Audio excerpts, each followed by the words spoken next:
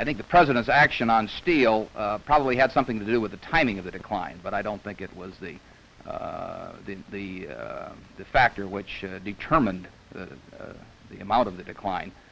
Uh, for some time, stocks have been rising at rather rapid rates. Corporate earnings have not been rising. Dividends have not been increasing, and it's not to be unexpected that perhaps a correction of some of those um, unusual factors on the upside might occur on the downside. Well, some observers from time to time say that the stock market is a forecaster of events to come.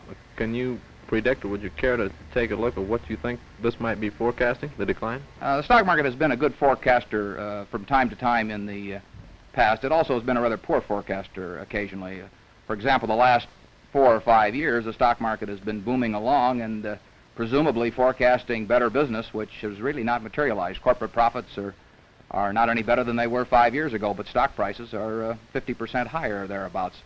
Uh, so maybe the stock market is really uh, correcting a previous incorrect forecast this time rather than making a new correct one.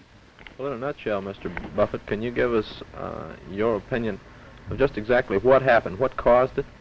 Well, there was uh, undoubtedly some forced selling the uh, the week uh, when the stock market hit the news.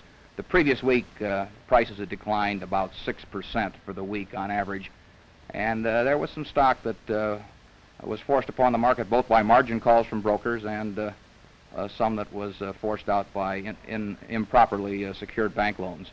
And this in turn set up a self-generating mechanism on the downside for a while, which we may have seen the last of and which we may not have seen the last of.